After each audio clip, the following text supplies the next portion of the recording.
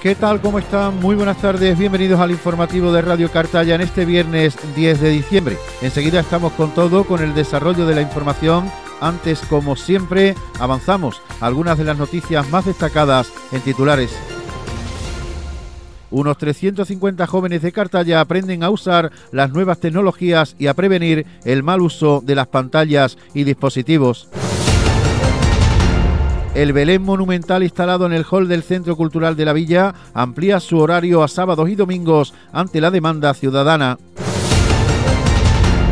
La Junta de Andalucía va a solicitar al Tribunal Superior de Justicia el certificado COVID a aquellas personas que accedan a establecimientos de hostelería y ocio nocturno.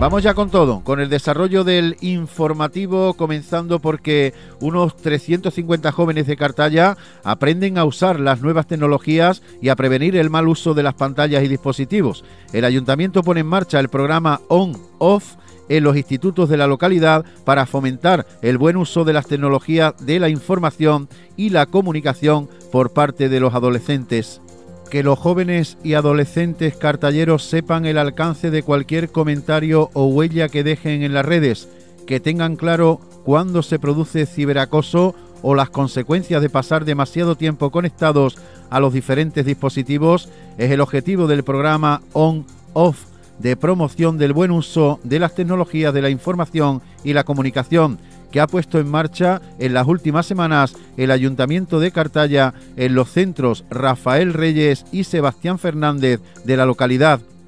La actuación que ha desarrollado el área de educación del consistorio en el marco del programa de prevención comunitaria de las drogodependencias, Ciudad ante las Drogas de la Consejería de Salud y Familias y con la colaboración de la Diputación Provincial de Huelva, la Delegación del Gobierno para el Plan Nacional sobre Drogas y la Asociación PDS Promoción y Desarrollo Social es una invitación a la reflexión sobre las pantallas y sus aspectos positivos y negativos que persigue sobre todo actuar de forma preventiva ante los problemas asociados a su mal uso. Así lo ha explicado la alcaldesa Pepa González Bayo en su visita a la exposición itinerante que se ha instalado en los dos centros, formada por una decena de paneles informativos que constituye una de las acciones de un programa que se ha completado con acciones de análisis, debate y trabajo conjunto en las clases de primero y segundo de la ESO de los centros cartalleros. La actividad ha ido dirigida especialmente a grupos de adolescentes de 12 a 14 años, con el fin de provocar en este colectivo una reflexión alrededor de los diferentes aspectos relacionados con el uso que hacen los adolescentes. Muchos de ellos y ellas, señala la concejala de Educación, Cele Vázquez, desconocían incluso el significado del concepto huella digital o de las consecuencias que puede tener el rastro que van dejando en las redes sociales y los riesgos que implican. El Belén monumental instalado en el hall del Centro Cultural de la Villa amplía su horario a sábados y domingos ante la demanda ciudadana. Este sábado además, a las 12 del mediodía, se va a inaugurar el Belén en el Rompido. Desde el pasado día 3 de diciembre ya se puede disfrutar del Belén monumental instalado en el hall del Centro Cultural de la Villa, en horario de 9 de la mañana a 2 de la tarde y de 4 de la tarde a 9 de la noche pero dada la demanda ciudadana para poder visitar el Belén, el ayuntamiento ha determinado ampliar el horario de visitas, por lo que también estará abierto los sábados 11 y 18 de diciembre por las tardes de 4 a 8 y media y los domingos 12, 19 y 26 de diciembre y el 2 de enero de 10 y media de la mañana a 2 de la tarde. Así lo explicaba el director del Centro Cultural de la Villa, Francisco Angulo. Pues mira, tenemos una, una, grata noticia que dar y es que debido a la gran demanda que ha habido de, las personas que quieren visitar el Belén, pues hemos, se ha decidido por parte de la Concejalía de Cultura de ampliar los horarios eh, para poder visitar el Belén. En este caso, si a lo que es el horario habitual del Centro Cultural de la Villa, se le añade que todos los eh, sábados en horario de tarde, de 4 a 8 y media de la tarde, y todos los domingos de 10 y media a 2 de la tarde. Eh, dicho de otro modo, el Belén se podrá visitar todos los días, menos el día 24 y 25 y 31 y 1. Los demás días se podrán visitar si es sábado en horario de tarde y si es domingo en horario de mañana. y este próximo sábado a las 12 del mediodía se va a inaugurar el Belén Monumental del Rompido, situado en la oficina de turismo del núcleo costero. Lo decíamos ayer, ya está abierto el plazo, que alcanzará hasta el 15 de diciembre para participar en el tercer concurso de escaparates navideños, tanto en Cartaya como en el Rompido, así como en el Nuevo Portil. El Ayuntamiento de Cartaya, a través del Área de Desarrollo Local y Empleo, organiza el tercer concurso de escaparates navideños y todo dentro de las más de 30 actividades previstas de cara a estas fiestas navideñas. Las inscripciones están abiertas hasta el próximo 15 de diciembre y se puede hacer a través de la sede electrónica del consistorio, donde también están recogidas las bases para la participación. El primer premio está dotado con 200 euros, mientras que el segundo se llevará 100 euros. En referencia a Cartaya, con respecto a El Rompido y Nuevo Portil, los premios serán exactamente los mismos.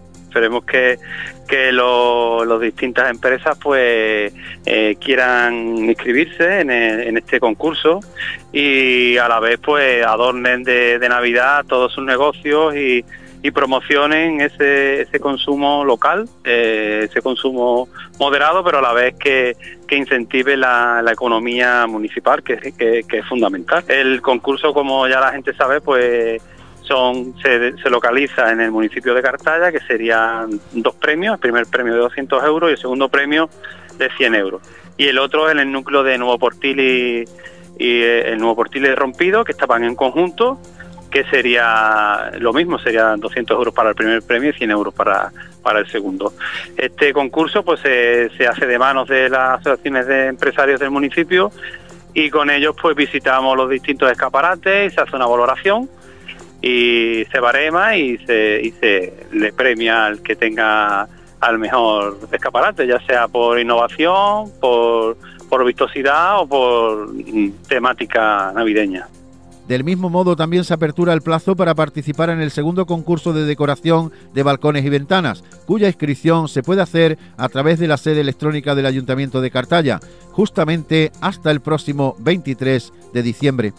Con la amplia propuesta de más de una treintena de actividades de cara a las fiestas navideñas organizadas por el Ayuntamiento de Cartaya y enfocada a los tres núcleos poblacionales, una de ellas el segundo concurso de decoración de balcones y ventanas, cuya inscripción se puede llevar a cabo hasta el próximo 23 de diciembre a través de la sede electrónica, el DAC, la Delegación y Oficina de Turismo del Rompido y en la Delegación de Nuevo Portil. Habrá dos primeros premios, uno para Cartaya y otro para el Rompido Nuevo Portil, dotado con 100 euros. Recordamos además de igual manera que este domingo a partir de las 12 del mediodía se va a llevar a cabo en la pradera de San Isidro el potaje rociero organizado por la Hermandad del Rocío de Cartaya. La recaudación del evento se va a destinar a terminar la carreta del sin pecado. La Hermandad del Rocío de Cartaya ya tiene preparada su próxima actividad y la va a llevar a cabo en la pradera de San Isidro este domingo 12 de diciembre, con un potaje rociero que servirá como recaudación para terminar la carreta del sin pecado. Aparte del potaje, la hermandad ha anunciado que se van a servir pinchitos, lomos, chocolate, dulces y también una actuación musical a cargo del grupo Quitasueño.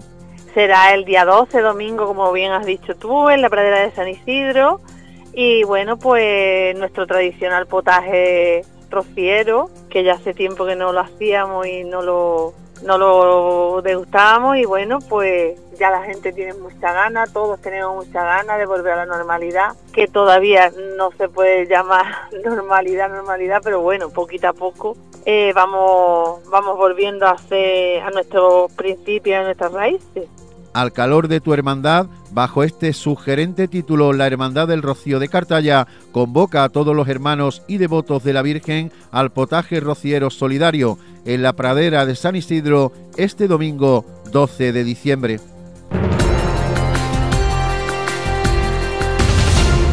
Entramos seguidamente en el ámbito de noticias provinciales. La Junta de Andalucía va a solicitar al Tribunal Superior de Justicia que apruebe exigir la presentación de certificado COVID de vacunación, de recuperación o de prueba negativa para aquellas personas que accedan a establecimientos de hostelería y ocio nocturno. La Junta de Andalucía va a pedir al Tribunal Superior de Justicia de la Comunidad Autónoma Andaluza que apruebe el exigir la presentación del certificado COVID de vacunación, de recuperación o de prueba negativa para aquellas personas que accedan a establecimientos de hostelería y ocio nocturno. La prueba negativa sería una PCR en 72 horas o un test de antígenos en 48 horas realizado por un centro autorizado. La propuesta la ha realizado este jueves el Comité Regional de Alto Impacto de Salud Pública y abarcaría hasta el 15 de enero, al igual que la norma que exige idéntica presentación de certificado o test para hospitales y residencias de mayores.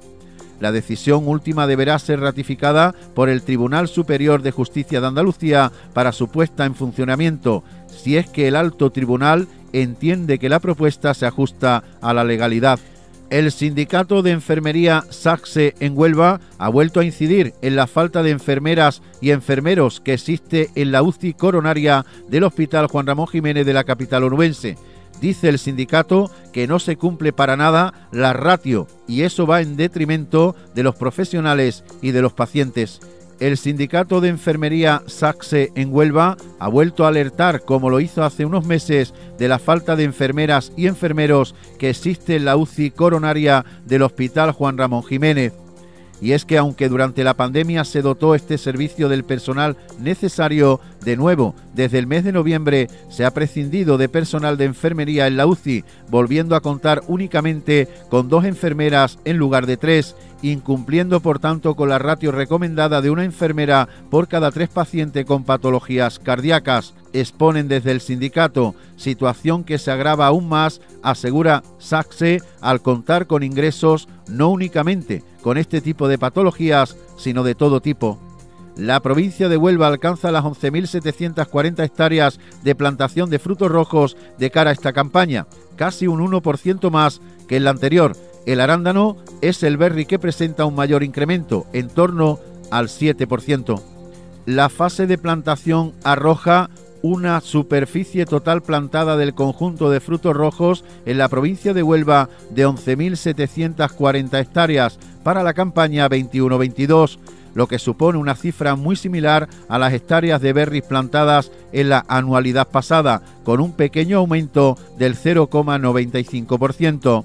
La Asociación de Productores y Exportadores de la Fresa de Huelva, Huelva, ha informado de que, según los datos aportados por las empresas asociadas, la superficie plantada de fresa asciende a 6.167 hectáreas, mínimamente superior, cercano al 1% a las 6.105 hectáreas plantadas de fresas en la campaña pasada.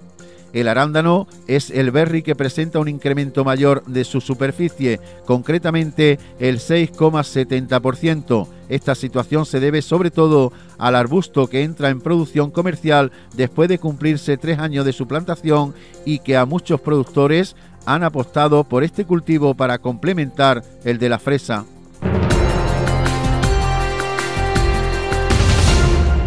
Vamos ya con el tiempo para el deporte. El Cartaya juega este domingo en Ceuta a las 5 de la tarde, un horario inusual en tierra norteafricana que generalmente se disputan allí los partidos los domingos por la mañana.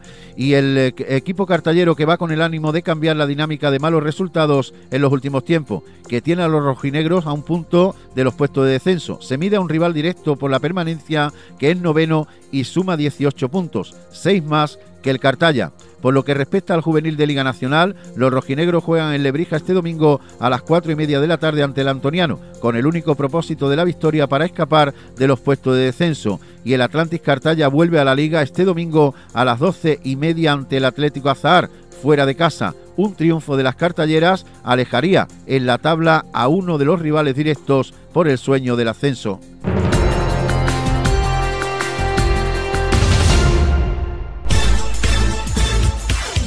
Radio Cartaya 107.2 FM, emisora municipal.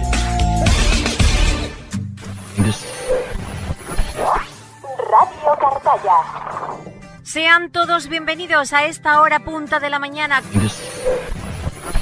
¿Qué tal? ¿Cómo están? Muy buenos días, bienvenidos a este avance informativo en Radio Cartaya. Un día más eh, vamos a viajar. Cuando las cosas se hacen con el corazón, salen bien. Y ese es nuestro principal objetivo con este programa. Seguro que ya nos estabas esperando, pues aquí llego yo con ganas y con fuerza para comenzar nuestro concurso. Es la una de la tarde. Noticias. ¿Qué tal? ¿Cómo están? Muy buenas tardes. Bienvenidos al informativo de Radio Cartaya. ¿Qué tal? ¿Cómo están? Espero que estupendamente bien. Saludos en nombre de todo el equipo que hace posible este programa de Cartaya Deportiva. Fútbol en directo.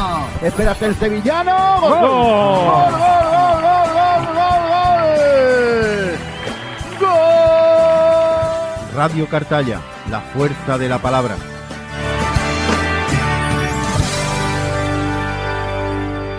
Óptica Cartaya y Óptica Huelva, expertos en salud ocular. Detectamos, graduamos y corregimos tus problemas visuales. Ahora tus gafas graduadas con antirreflejantes a partir de 99 euros. Solución a tu medida, visión confortable y amplia selección. Visítanos en calle de la Plaza 60, Cartaya y en avenida José Fariñas 67, Huelva. Hola, soy David Novoa, jugador de la Agrupación Deportiva Cartaya y necesitamos este año que nos acompañéis y escuchéis Radio Cartaya con los comentarios de Manolo Camacho, Mardini, el profe y el comandante. Vamos Cartaya. Radio Cartaya, la fuerza de la palabra.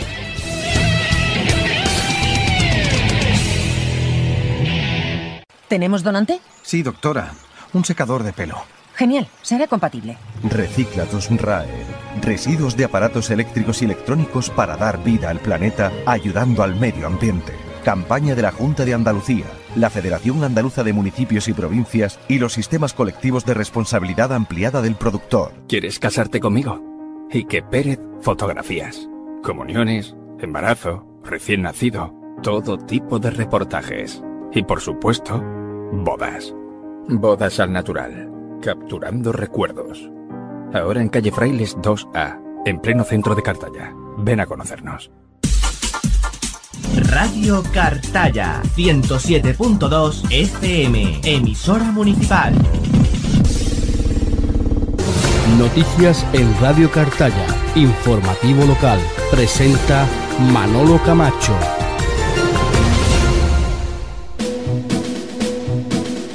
Llegados a este punto del informativo, es momento de conocer el tiempo que nos espera para las próximas horas en toda la provincia de Huelva. Agencia Estatal de Meteorología. Buenas tardes. Buenas tardes. A estas horas cielos nubosos en general en la provincia de Huelva, aunque se van abriendo claros en la costa, con temperaturas máximas sin grandes variaciones. Valores de 20 grados en Isla Cristina, en Ayamonte, 19 en Huelva, en Lepe, en Cartaya, 18 en Punta Ambría o 14 en Aracena. El viento soplando del noroeste con mayor intensidad en la Sierra de Aracena y de cara a mañana nubosidad abundante con brumas y bancos de niebla matinales en el interior. Se irán abriendo claros ya por la tarde y temperaturas en ascenso. Es una información de la Agencia Estatal de Meteorología.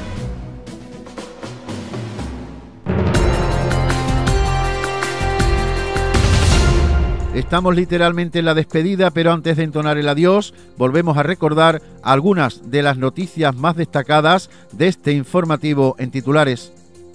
Unos 350 jóvenes de Cartaya aprenden a usar las nuevas tecnologías y a prevenir el mal uso de las pantallas y dispositivos. El Belén Monumental instalado en el hall del Centro Cultural de la Villa amplía su horario a sábados y domingos ante la demanda ciudadana. La Junta de Andalucía va a solicitar al Tribunal Superior de Justicia el certificado COVID a aquellas personas que accedan a establecimientos de hostelería y ocio nocturno. Es todo. Hasta aquí hemos llegado en el tiempo de información. Enrique Costa fue el jefe de todas las operaciones. Hoy, como cada día, también ha sido un placer. Gracias por elegir la radio. Feliz fin de semana desde Cartaya. Buenas tardes.